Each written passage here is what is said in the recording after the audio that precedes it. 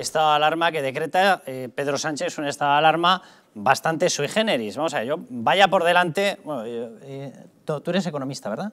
Sí, vaya por delante. Bueno, tú, Mario, sí que eres abogado, ¿verdad? Yo soy licenciado en Derecho, sí. Vale, es decir, bueno, tenemos presencia más que suficiente con conocimientos jurídicos como para comentar eh, qué tipo de utilización está haciendo Pedro Sánchez del estado de alarma. Lo digo porque yo, el primer estado de alarma eh, me sonó muchísimo más a un estado de excepción. Esto del confinamiento generalizado no existe dentro de la ley orgánica de estados de excepción. Vienen confinamientos parciales donde la norma tiene que ser la libertad de movimiento y la excepción tienen que ser esas limitaciones. Nos coló un estado de excepción como si fuese el estado de alarma y no lo utilizó para nada. Es decir, nos metió dentro de las casas como si fuese lo del sarampión, nos dejó dentro y no nos aplicó ni cribados de test ni nada que se le pareciera. Por no utilizar, no utilizó el tiempo en el cual estábamos encerrados ni para hacer el acopio necesario de mascarillas, guantes, gel, lo mínimo necesario. Por cierto, vaya por delante que seguimos en espera de la compra de la reserva estratégica en la cual ha envidado el señor Pedro Sánchez nada más y nada menos que 2.600 millones de euros y todavía no tenemos la reserva estratégica en España. Bueno, vaya por delante eso. Ahora vuelve a tirar del mismo utensilio. ¿Vale? Un utensilio jurídico, un instrumento jurídico,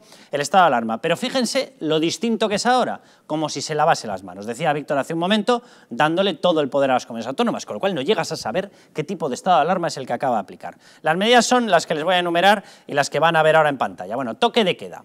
A partir de las 23 de las 11 de la noche hasta las 6 horas. Se puede modular en una hora, es decir, eh, lo implanta de 23 a 6 como para intentar afear el toque de queda que tenía preparada la Comunidad de Madrid, que era no de 11, sino de 12 a 6, pero lo cierto es que de tapadillo le confiere la posibilidad de quitar una de las horas, con lo cual en el fondo también se lo está permitiendo. Dice, vaya toque de queda y vaya en posición más rara. Bueno, excepto, por supuesto, para cumplir obligaciones laborales, regreso al domicilio, cuidado de los mayores, atención hospitalaria, etcétera, etcétera. Se exceptúa Canarias por los datos que está teniendo.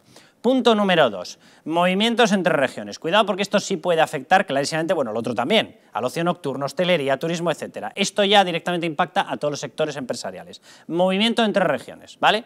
pero lo regula de la siguiente manera. Posibilidad de que los ciudadanos de una provincia no puedan salir de esa zona. Posibilidad, es decir, tendrá que determinar de nuevo la comunidad autónoma. Toma ya que estado de alarma más curioso.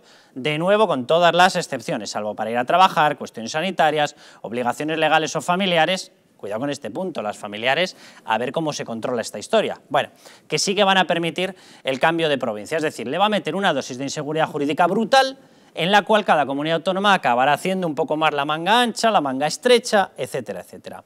La siguiente, reuniones de seis personas, máximo de seis personas. Vuelve otra vez a meter exactamente la misma cuña. Cada gobierno regional podrá aprobarlo para sus comunidades. Y dice, pero entonces, ¿qué estado de alarma ha adoptado usted? El estado de alarma de me lavo las manos cada cinco minutos. Bueno, y la última, limitaciones de horarios, y atención porque esto sí que es una bomba, esto sí que es un dardo directamente a los horarios comerciales, restaurantes y demás, restricción de los horarios de los locales comerciales. Yo, de verdad, os lo pregunto, pero la única conclusión que saco es que acaba de hacer otro nuevo anuncio internacional y nacional de restricción económica. Y a partir de ahí me lavo las manos y que cada comunidad corra con la crítica por la subida o bajada de los casos.